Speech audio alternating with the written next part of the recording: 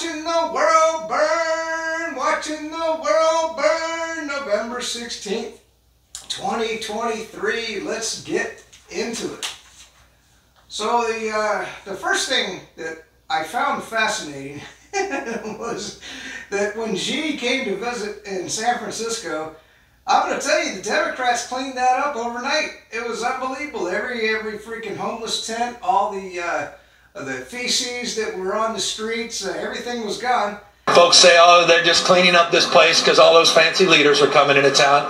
Um, that's true because it's true. Now, in the lead up to the APEC summit, the homeless encampments all throughout downtown San Francisco mysteriously disappeared, and many think this was to give a better impression of the United States, cover up some of the poverty and chronic homelessness that plagues downtown areas in major cities like San Francisco. Many of the homeless people ended up being moved simply to other parts of the city where they're staying in tents or sleeping on the streets. It gets me out of here. They're making up a bunch of rumors like all my clothes got stolen, my shoes, like, and, but that's all sponsored stuff, you know. Um, they moved them out to the what is it, southwest side because there's less wind out there, so they pay attention more to themselves. But you know, I kind of want you to think about that. What are the Democrats up to? Well, I think that they have been in the process the warmongering Democrats, let's just call them that, that they're trying to drive down the real estate prices by allowing crime to run rampant, allowing uh, uh, uh, criminals back out on the streets, allowing uh, homelessness. And, uh, and we just saw that, uh, and even Gavin Newsom came in and he said, yeah, yeah, we, we can clean it up anytime we want. What does that tell you? They're in the hands of BlackRock and the big, the big fish that they're going to swoop in there and buy up that real estate cheap. I'm just telling you, I, you know, that's that's just my take on the whole situation in San Francisco because I was absolutely shocked at how fast they cleaned that up. That's what Democrats are. That's what Democrats are, and that's what these people vote for. I don't understand it. So the uh, the other thing was uh, we're gonna I'm gonna show you a video. The uh, Russian technical advances on the battlefield are just astounding. And uh, they built this, this huge new drone factory, and you probably won't hear about it. And, uh, well, let's just watch the drones in action.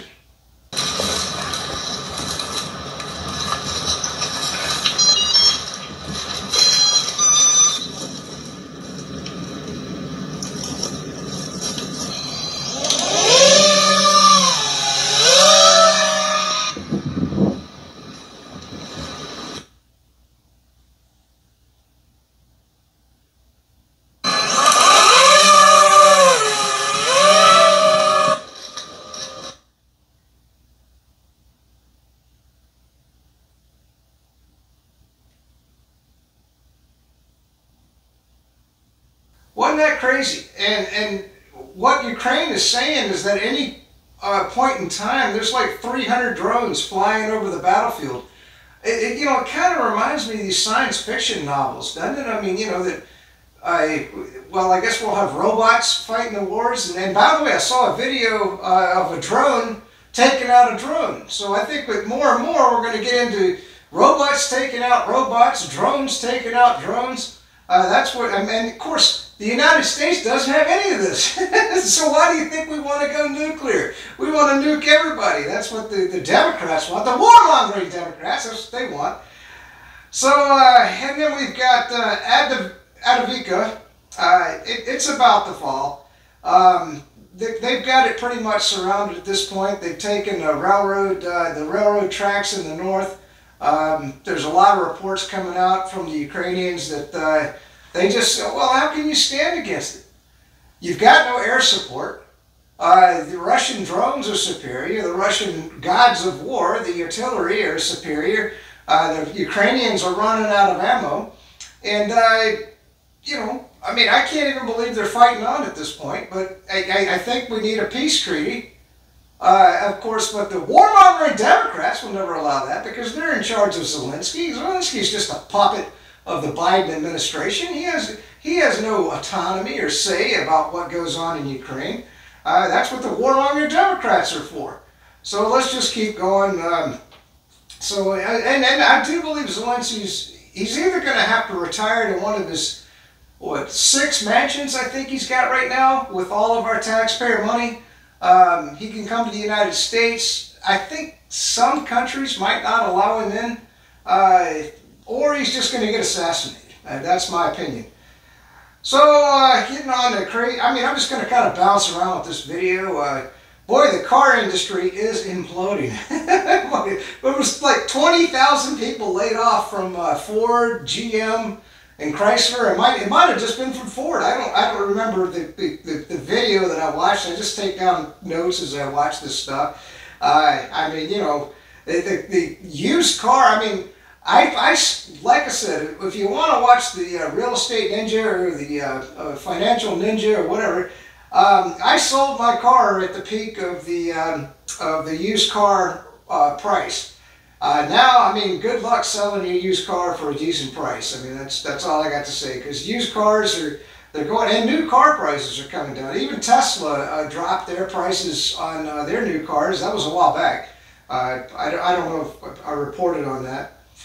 So, um, yeah, and, and, and this goes back to San Francisco that the commercial buildings are being bought up for pennies on the dollar. So if you don't think the commercial real estate market is crashing, oh, I got news for you. Now, I, I understand most people will watch my videos, uh, all 10 of you.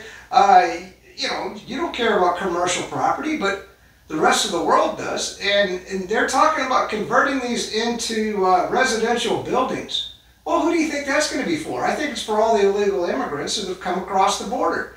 And that's where they're going to stick them, is in these commercial buildings, so that they have a whole, the Democrats, the Democrats want a whole new voting populace.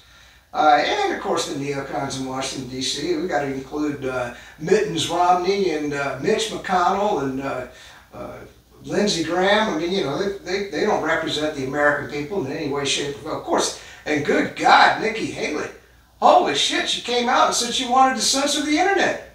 This is a freaking person run, running for the Republican side. I hope that everybody ditches her, but you know, I, I guess I don't know. I mean, she's a lunatic calling for censorship. Holy shit. I, I you know, where, where do these people come from? I like Vivek. I, man, I tell you, that last debate, he just shredded her. And uh, I, I think she's taken down.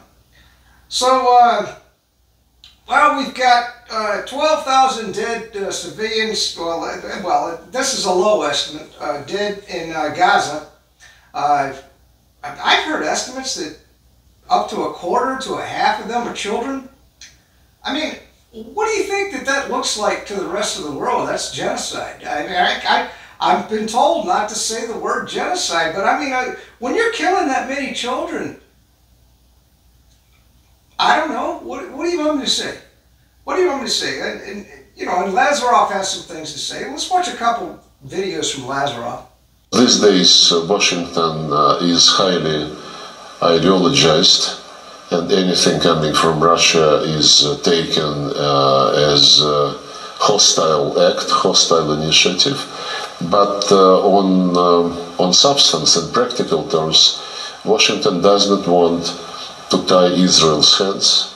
Uh, it, it, it works with Israelis, I know this, and person tries to persuade them uh, to be a little flexible regarding the supply of uh, humanitarian goods, uh, uh, medicines, other stuff necessary for hospitals functioning, and also be flexible for letting the foreigners out of Gaza.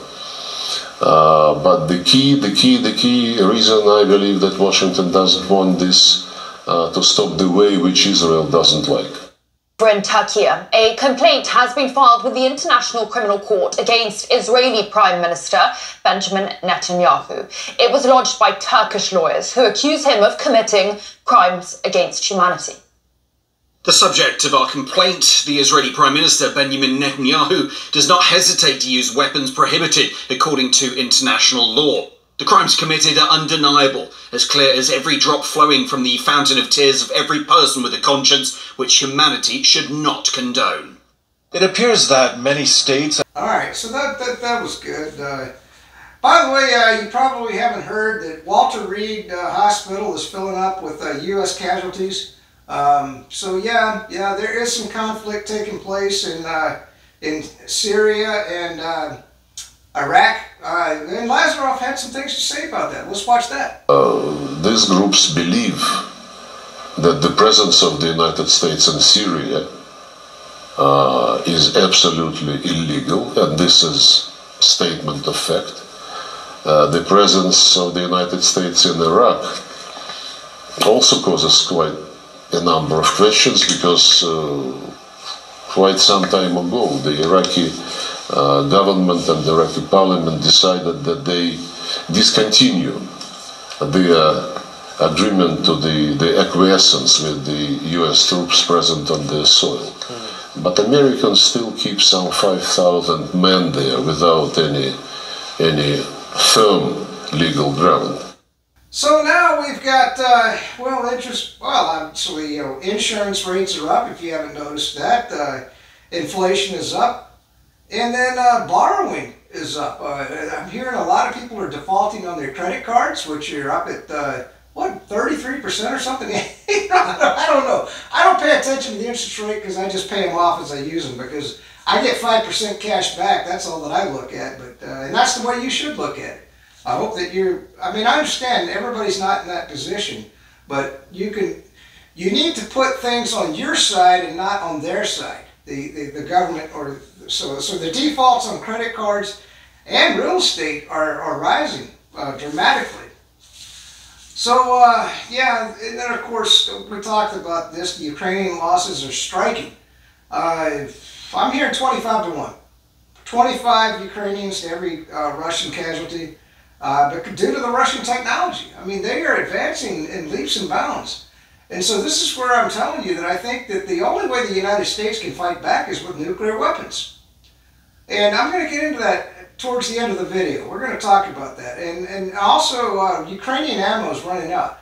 Uh, I've been hearing reports that uh, they're firing like one round every, I don't know, how, let's just say 50 rounds that the Russians send in because they just don't have the artillery uh, shells and everything. Of course, now everything's going to Israel. By the way, where's Ukraine in the news?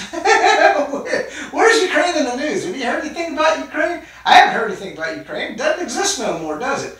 The narrative is gone. Isn't it amazing how the attention span of the American people just kind of, whoop, gone? Oh, we got what? What? what one million dead Ukrainians. Uh, have you seen them flags waving as the videos come over and they got these massive grave fields? Uh, and these are what the neocons uh, like uh, Joe Biden and uh, Blinken and uh, well, good lord, I can't remember. Ah, damn it, sometimes my brain don't work. So anyway, the, we'll just continue on. The gods of war in Ukraine average, well, and, by the way, they, they were saying it's like 43 to 1 and 8 mortar rounds to every Russian round.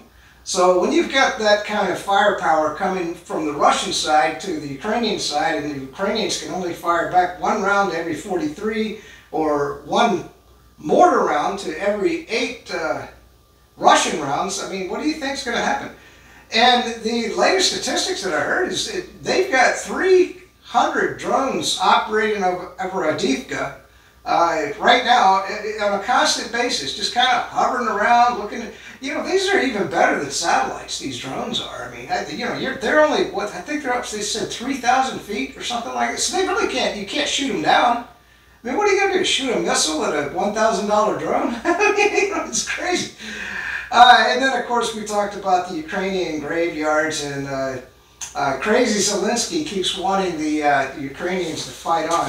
Uh, that's pretty much it for my notes. But I did want to give you my, uh, my opinion on where I think the uh, nuclear war is going. Now, right now we've got a nuclear powered, uh, nuclear submarine positioned. We've got the carrier groups there. We've shipped in tremendous amounts of military equipment. So what is the United States gearing up for? They want a war. They want a war in the Middle East. Now, I don't think that the Biden administration, the warmongering Democrats, the freaking lunatic warmongering Democrats, I don't think they realize how well the Middle East is armed at this point. This is not 20 years ago. They've got a lot of missiles. They can take out those carrier groups. They've got torpedoes. They have been spending the last 20 years getting ready for this war. And I do believe that the neocon Republicans and the uh, warmongering Democrats are going to kick this thing off. And I, I do think that American forces are going to get punished. And so at some point, once we've lost thousands upon thousands upon thousands of U.S.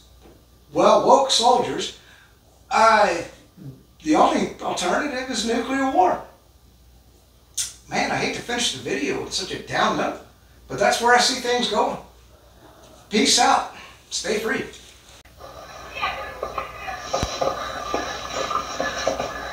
Руки, руки подними. Пойдем только медленно, не спеши. Серега, контроль. Дергайся.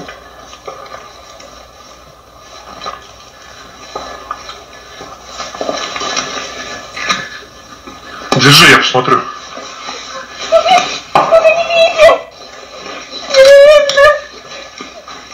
Ты что тут забыла, беременная?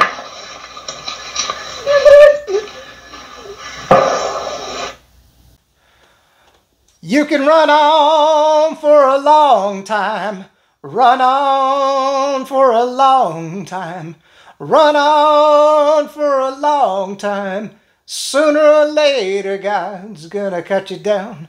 Sooner or later, God's gonna cut you down.